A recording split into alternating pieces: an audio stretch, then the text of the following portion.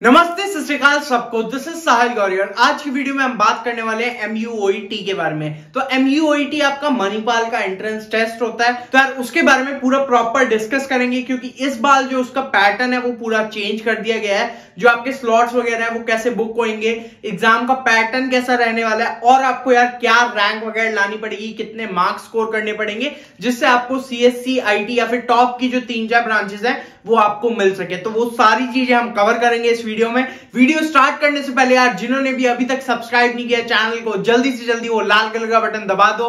पूरा भरोसा है यार, सिर्फ़ और सिर्फ़ हंड्रेड सब्सक्राइबर्स दूर है, हमारी फाइव थाउज़ेंड की फैमिली पूरी हो जाएगी। तो यार, ज़्यादा से ज़्यादा इस वीडियो को शेयर करना, जितनी भी वीडियो शेयर कर सकते हो ना दबा के शेयर कर दो और यार सबको सब्सक्राइब करने को बोल दो, ठीक है? तो जल्दी से जल्दी हमारी 5000 की फैमिली पूरी हो जाएगी। तो यार स्टार्ट करते हैं इस वीडियो को, ज़्यादा देर नहीं लगाएँगे छोटी सी वीडियो होने वाली है। सबसे पहले हम पुराने पैटर्न को देख लेते हैं, ज़्यादा उस पर डिस्कस नहीं करूँगा, बस बता देता हूँ। तो यार पहले पैटर्न आपका ये होता था फिजिक्स फिफ्टी क्वेश्चन आएँगे केमिस्ट्री 50 मैथ्स 70 क्वेश्चन और एप्टीट्यूड या इंग्लिश 30 क्वेश्चन आएँगे।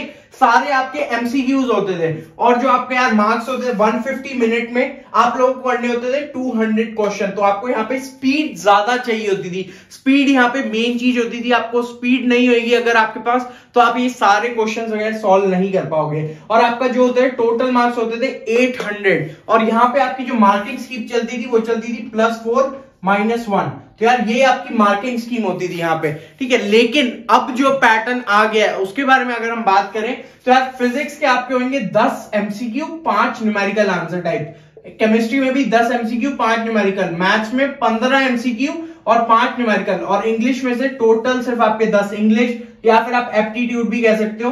ठीक है? तो ये आपके 10 सिर्फ़ रहेंगे। यहाँ पे आपके पास क्या टाइमिंग्स वगैरह रहेंगी?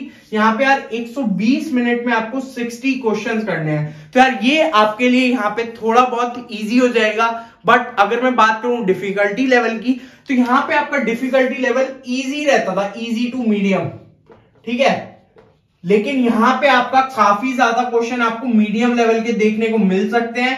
तो आपको थोड़े बहुत यार अच्छे से क्वेश्चंस वगैरह प्रैक्टिस करने हैं फॉर्मूलाज वगैरह पे प्रॉपर ग्रिप बनानी है थोड़े अच्छे लेवल के क्वेश्चंस वगैरह प्रैक्टिस करोगे तो आप यहाँ पे एक अच्छा डिसेंट स्कोर बना सकते हो। अब यार आगे बात करें तो आपको 120 मिनट में 60 क्वेश्चन करने हैं टोटल मार्क्स आपके बनेंगे 240 तो अब यार पहले आपको 800 में से मार्क्स मिलते थे, अब मिलेंगे 240 में से मार्क्स और आपकी जो मार्किंग स्कीम रहेगी, वो यार जितने भी ये एमसीक्यूज है, यहाँ पे रहेगी आपकी प्लस फोर माइनस वन और जितने भी आपके न्यूमेरिकल आंसर है मतलब पंद्रह क्वेश्चंस के लिए आपकी रहेगी प्लस फोर और ज़ीरो मतलब अगर आपका गलत होता है तो आपकी कोई नेगेटिव मार्किंग नहीं होगी अब यहाँ पे हमें एक फ़ायदा देखे तो यार न्यूमेरिकल आंसर टाइप में जैसे आपको नेगेटिव मार्किंग नहीं है तो आपको इन पे काफ़ी अच्छा फोकस बनाना है। कोशिश करना है कि सारे के सारे न्यूमेरिकल आंसर टाइप आप सॉल्व कर पाओ और सारे के सारे यार सही भी निकल पाए। मतलब जितने ज़्यादा आप सही निकाल पाओगे न्यूमेरिकल आंसर टाइप उतना आपके लिए बेटर होएगा, उतनी बेटर रैंक आपकी आ पाएगी, क्योंकि यहाँ पे आपको बहुत ज़्यादा बेनिफिट है। आपके यार प्लस फोर और ज़ीरो का मार्किंग स्कीम है तो कोई नेगेटिव मार्किंग नहीं है। आपको सारे सॉल्व करने और जितने ज़्यादा सही हो जाएँगे, उतना ज़्यादा बेनिफिट आप लोगों के लिए होगा। तो यार, ये तो होगी आपके पैटर्न की बात। मतलब पैटर्न कैसा इस बार होने वाला है। आपको अच्छे से आइडिया लग गया होगा, ठीक है? लेकिन अब जो बात आती है, वो आती है आपकी स्लॉट बुकिंग या फिर कितनी बार हम लोग टेस्ट दे सकते हैं। तो यार, काफ़ी बच्चे कंफ्यूज है फ़ेज़ वन फ़ेज़ टू में। तो उसको मैं आपको अच्छे से यार समझा देता हूँ। अब यहाँ पे हम क्लियर कर लेते हैं आपका फ़ेज़ वन और फ़ेज़ टू ठीक है ये सेम डाटा आपको इनकी वेबसाइट पे मिल जाएगा। बट काफ़ी बच्चों को ये चीज़ समझ नहीं आती तो यार मैं आपको प्रॉपरली समझाता हूँ क्या चीज़ है। तो यार आपको फ़ेज़ वन के लिए रजिस्टर करना है थर्टी फ़र्स्ट मार्च तक, जिसके लिए सिर्फ़ और सिर्फ़ छह सात दिन रह गए हैं। तो अगर आपने रजिस्टर नहीं किया और आप फ़र्स्ट अटेम्प्ट देना चाहते हो तो यार जल्दी से जल्दी जाके रजिस्टर कर लो। उसके बाद यार ये आपका फ़र्स्ट अटेम्प्ट रहेगा, जो आपका स्लॉट बुकिंग टाइम रहेगा, ठीक है? स्लॉट बुक आप कर सकते हो इस टाइम में, जो आपका एट अप्रैल दस बजे से लेके बारह अप्रैल पाँच बजे तक शाम के, ठीक है? तो ये आपका स्लॉट बुकिंग टाइम रहेगा कि आपको यार टाइम चूज़ करना है, किस टाइम फ्रेम में आप एग्ज़ाम देना चाहोगे। उसके बाद यार जो आपके फ़र्स्ट एग्ज़ाम की डेट्स रहेंगी, वो है सिक्सटीन ऑफ़ अप्रैल से लेकर ट्वेंटी ऑफ़ अप्रैल तक। तो आपको यार ये एग्ज़ाम जैसे ही आप बुक करोगे, उसके चार पाँच दिन बाद आपका एग्ज़ाम हो जाएगा और ये रहने वाला है आपका फ़र्स्ट अटेम्प्ट अब इसके बाद आता है फ़ेज़ टू जहाँ पे काफ़ी बच्चों को दिक्कत आ रही है, जो बच्चे यार समझ नहीं पा रहे हैं, ठीक है? तो फ़ेज़ टू आपका होने वाला है थर्टी मार्च तक अगर आप बुक कर देते हो फ़ेज़ टू को भी, ठीक है? तो आपका फ़र्स्ट अटेम्प्ट तो यहाँ हो गया, इसके बाद आप दोबारा एग्ज़ाम दे सकते हो सेकंड अटेम्प्ट में, ठीक है? तो ये आपका हो गया एक तरह से सेकंड अटेम्प्ट लेकिन अगर आप फ़र्स्ट अटेम्प्ट नहीं देते हो तो फिर आपके पास यार एप्लीकेशन डेट वगैरह बढ़ने के लिए टाइम रहेगा जो है फ़र्स्ट अप्रैल से लेके ट्वेंटी फिफ्थ ऑफ़ मे तक, ठीक है? तो ये आपका रहेगा फ़र्स्ट अटेम्प्ट। जो भी बच्चों ने यार फ़ेज़ वन नहीं दिया, उनके लिए तो ये फ़र्स्ट अटेम्प्ट ही है। तो इसलिए यार ये आपका फ़र्स्ट अटेम्प्ट रहेगा। जिन्होंने ये दिया है, उनके लिए ये सेकंड अटेम्प्ट रहेगा, ठीक है? और जो बच्चे यार फ़र्स्ट अटेम्प्ट यहाँ पे नहीं दे रहे हैं, वो दोबारा एग्ज़ाम नहीं दे सकते यहाँ पे। वो सिर्फ़ एक ही बार एग्ज़ाम दे सकते हैं जो उनका ये फ़र्स्ट अटेम्प्ट रहेगा।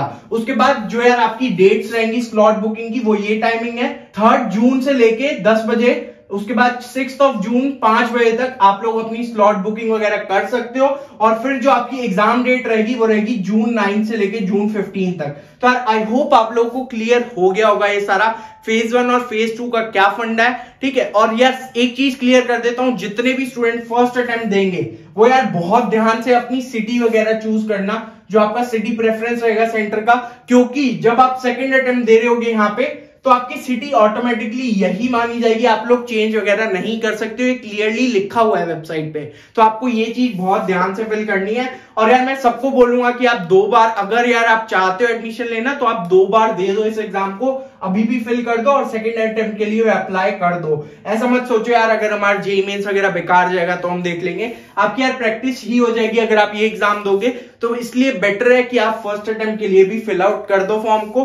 फॉर्म्स वगैरह अभी भी है डेट आपके पास है टाइम छह से सात दिन। तो आप सोच सकते हो यार, आपको करना है, नहीं देना है या फिर देना है। और फिर यार फिल आउट कर सकते हो। तो यार अब बात कर लेते हैं हमें किस पर्टिकुलर रैंक पे C S I T C सी और ईसी e जैसी ब्रांच जो आपकी टॉप ब्रांचेस होती हैं, वो आपको मेन कैंपस में मिल जाएगी। तो यार सबसे पहले अगर हम बात करें सीएससी की, जो कट ऑफ़ गई थी लास्ट ईयर वो गई थी 1147 आईटी की गई थी 2234 सीसी की गई थी 3042 e गई थी 5695 तो ये आपकी कट ऑफ़ लिखी हुई है। इसके बाद यार जो मैंने यहाँ पे लिखा हुआ है, वो लिखा हुआ है कि आपके आउट ऑफ़ 200 जो पहले क्वेश्चन होते थे कितने सही होने पड़ते थे जब आपको यार सीएससी तो ऑलमोस्ट 145 प्लस आपको क्वेश्चन सही करने पड़ते थे 200 में से, जो आपको यार सेफ़ जोन में आ जाओगे आप सीएससी लेने के, ठीक है? उसके बाद 135 प्लस अगर आपके सही होते हैं तो 200 में से तो आपको आईटी ब्रांच मिल जाएगी। 125 से ज़्यादा सही होते हैं तो सीसी मिल जाएगी और 115 टू 120 क्वेश्चन सही होते हैं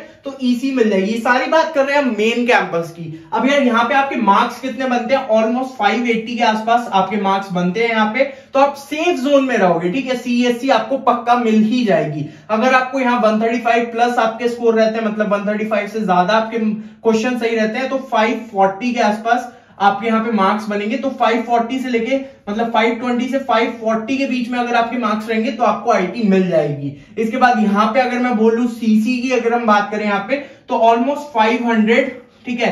या फिर 490 यहाँ पे इतने मार्क्स रहेंगे तो आपको सीसी मिल जाएगी। और यहाँ पे आ जाता है आपका 470 480 के आसपास आपको ईसी e मिल जाएगी। तो ये आपके मेन कैंपस की बात है, इतना आपको स्कोर करना पड़ता था पहले साल तक, यार ट्वेंटी ट्वेंटी तक। लेकिन अगर अब मैं बात करूँ, यार C S C I T ECC और ईसी e की आउट ऑफ़ 240 मार्क्स आपको कितना स्कोर करना पड़ेगा तो मेरे हिसाब से, यार, ये, यार, सिर्फ़ मेरा पॉइंट ऑफ़ व्यू है, जो मेरे को लगता है कि आपकी कट ऑफ़ जाएँगी। ठीक है तो यहाँ पे आपके 170 के आसपास मार्क्स आएँगे 170 180 के आसपास तो आपको सीएससी मिल जाएगी। यहाँ पे अगर आपके 160 से 170 के आसपास मार्क्स आएँगे तो आपको आईटी मिल जाएगी। यहाँ पे आपका 145 या 150 से लेके 160 तक अगर आएँगे तो सीसी मिल जाएगी। और यहाँ पे आपका रहेगा 135 से 145 के आसपास।